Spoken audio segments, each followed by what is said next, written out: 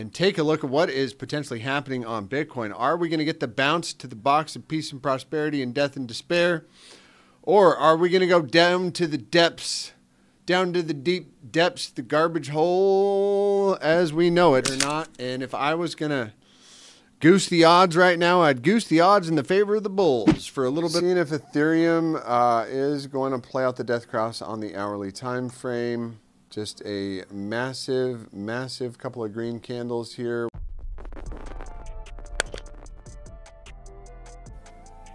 And welcome back to Bitcoin Advisor channel. My name is Chris, bringing it to you here from a lovely little Westlake Village, California. I've got a special guest with us today.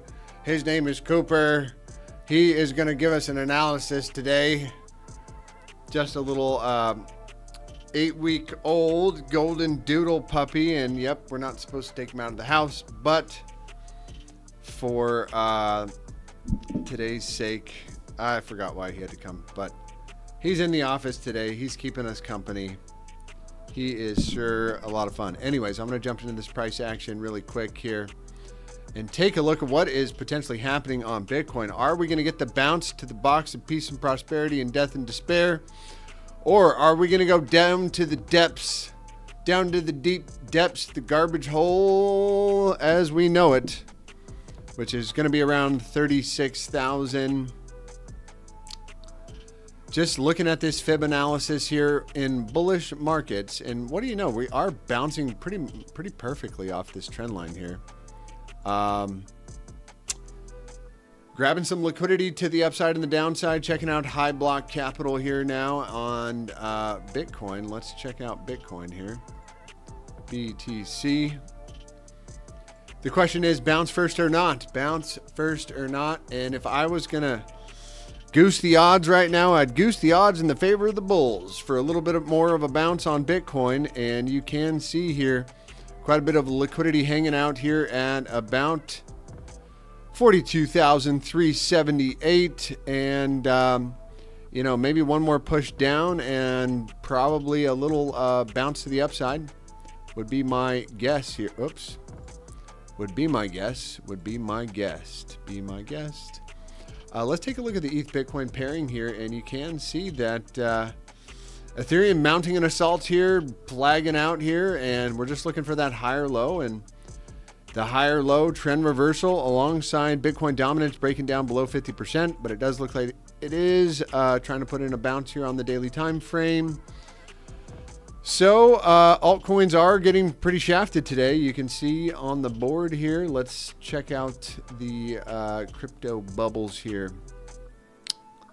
And Render holding on for dear life. Uh, let's see here. What about on the day? That's ah, a sea of red out there. Bonks bonking down. Uh, Hex, Cass, I mean, Mutable X, DYDX, they're all taking it on the chin here. And I would suspect uh, that TIA, that Celestia coin, is going to be on the receiving end of a red candle at some point. However, it is holding up fairly well, but I heard there's a token unlock coming, so uh, no no re- no reason to uh, jump the gun on that one. Uh, just again wrapping up the Bitcoin analysis here. Uh, we're saying bounce or not, and still, still, still, still, I wanna I wanna give the chance for the Bulls to do one more bounce. I mean, it really doesn't make sense, honestly, with NASDAQ doing this. Look at NASDAQ. Wow. Flying to the moon. Joe Biden, the best president in the world. Just kidding. Just kidding. Uh, Dixie is also uh, just getting rejected at one of our boxes of peace and prosperity or death and despair. And uh, well, below the box is good. Above the box is bad. Uh, I think we need to adjust some of the boxes here. We haven't revisited our. We have not revisited our um, Dixie analysis in some time. Oh, and then we got the other, the other doggy here too, the big doggy. Uh, so we got not only the golden doodle, but little six-month-old Dutch Shepherd uh, Malinois is a super dog. Super dog, yay! Anyways, um, So Dixie, honestly, Bitcoin has not been playing well with uh, Nasdaq or Dixie, so I think that's kind of irrelevant at the mo- moment, but something to keep an eye on in the background. TLT, TLT, the bond market uh, looks like it wants to put in a bit of a bounce there. Inflation did come out lower. Was it lower than expected? No, it was higher than expected, but still lower than I think the previous months. Checking in on this one, uh, one of the darlings of the market here, um, Mr. AXL, giving us an opportunity. If, you know, remember Fibonacci's, uh, the bull case is if we bounce off the 382 on a bearish retracement, uh, we don't want to lose the 0.5. Definitely don't want to lose the 618 um, for this one. And again, kind of wrapping up my thoughts on Bitcoin. Let's take a look here. Oh, it's okay. Uh, bullish engulfing candle on the four hour. If we close anywhere here or higher, and that would look like short-term bounce uh, back up to the upside here, maybe around 43.3, something like that. If we do take out this wick here on the four hour at 43,000, that'd goose the odds in the favor of the bulls as well. Um, let's see if momentum is flipping around here. So if volatility begins to decline here on the four hour, that'll be another indicator we're going to get a bit of a bounce. Um, and the hourly time frame. You want to take this guy? for me, please? Thank you. Oh, sweating bullets here, sweating bullets here. Um, seeing if Ethereum uh, is going to play out the death cross on the hourly time frame. Just a massive, massive couple of green candles here. What was this move here on the hourly? So in the past two hours, uh, we had about a three and a half percent move in the upside direction. It is roughly 11 a.m. here in California. Let's see if the CMEs give us any ideas here. CMEs, uh, big, you know, reversal candle there. I'm going to expect at least one short-term rejection there. Um, and then I do want to pull up that heat map one more time. Let's see on the hour. On the hour, everything is bouncing. Maybe we're going to get that Christmas bounce over the weekend here. Over the weekend for some of our favorite altcoins. Um, what else do I want to bring to our attentions here?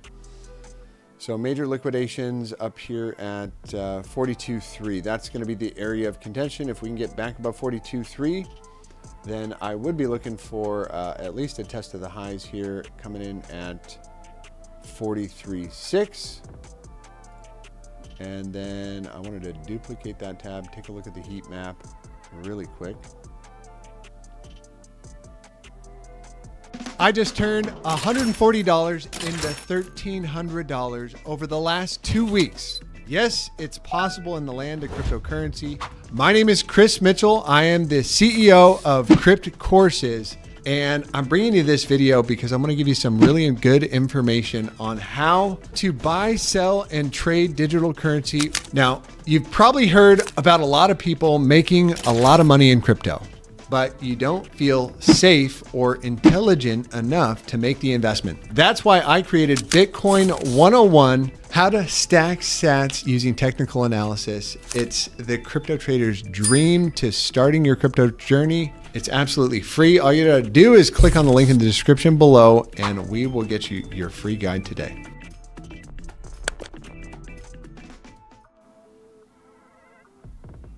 And then remind myself of the higher term time frame uh, kind of analysis that we've had over the past couple of days, which I, I, guess I could say I was pretty wrong yesterday. I think I was looking for a bounce yesterday, but didn't get a bounce yesterday, didn't get a bounce this morning. We're finally getting it at 11 o'clock on Friday afternoon. The 19th, the 19th. Shh. It's a bit of a party here down at the office today. Um, so again, looking at the heat map, liquidity lying up there at 44.3 and down at 38.6. So if we cannot uh, you know, grab that, uh, get above, defeat that 40, 42.3 area zone that we just looked at on this chart, then likely we're going to get that downside move. Um, and just overall continuation over the weekend. What's more likely than not for Bitcoin? We trade sideways over the weekend. Um, seems like we've had a pretty volatile move uh, today. And just looking at Ethereum, there is quite a bit of liquidity, just a bit higher. Just a bit higher. Um, lots, you know, lots of liquidity up there. So, um, I guess I'm all over the place today, but um, gap got filled, rejected, rejected. I mean, it looks like uh, we might get some continuation, just um, sl the slow bleed down. Um, let's see, what else am I looking for on Mr. AXL, MNT, Shrapnel, some of the other coins that are hanging in there tough. Render, again, I think that narrative could play out for the Apple Pro um, or the Apple Vision Pro, which is going to be revealed on February 2nd. So we still got a couple weeks ahead of that one. Checking in on DSO, uh, giving up the gains from the past couple of days here. Uh, and then Injective, also giving up the ghost here one more time. One more time. And Prisma finally bouncing off the lows. This is this is okay, and uh, I got absolutely uh, tossed on this one as well. Listed on Coinbase. This was the listing on Coinbase. Um, it literally just went straight down, straight down. Still like this one, a real world asset type provider. Um, they are the dash cam, Google Earth narrative. Uh, you drive around with your dash cam, you get paid in honey coins, and um, you know that's something that I, I am willing to take a risk on. Um, so something to keep your eyes upon here. If we do break this trend to the upside, uh, you know, could could start to lift off. But again, these type of coins, very very low market cap. Orca coin. Orca got absolutely wrecked after uh, giving up quite a bit of its gains here. Looks like a rejection there on Orca. How's our doggy coins doing? Doggy. Doggy to the downside. And you got weekly momentum down and uh, Rune. Weekly momentum down. And uh, I would say the next big flip is going to be when these guys uh, do injective looks like it's finally finally going to give some up as well. One of the strongest coins out there. Wouldn't mind to test down to uh, about 20 bucks on injective. Um, somewhere right in the middle of this candle somewhere around here about 25 to 20 bucks. Uh, mana holding it up. Real world uh, Mana, Metaverse coins, uh, still has not really taken off. I mean, if you remember this one in the last bull market, it absolutely flew to the moon. Um, Sui is um, giving up some of its gains. I would expect Sui.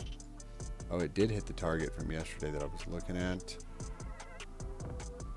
And I think I'm going to wrap it up there, guys. Uh, let me know if you want me to do any coins in the chat. And um, render is just trucking on, trucking on, onwards and upwards.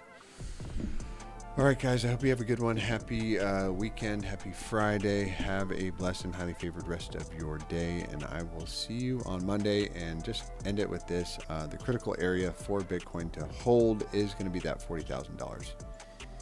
So as long as this area holds 40,000 bucks, 40,200 on the daily time frame uh, specifically, are we making a lower low?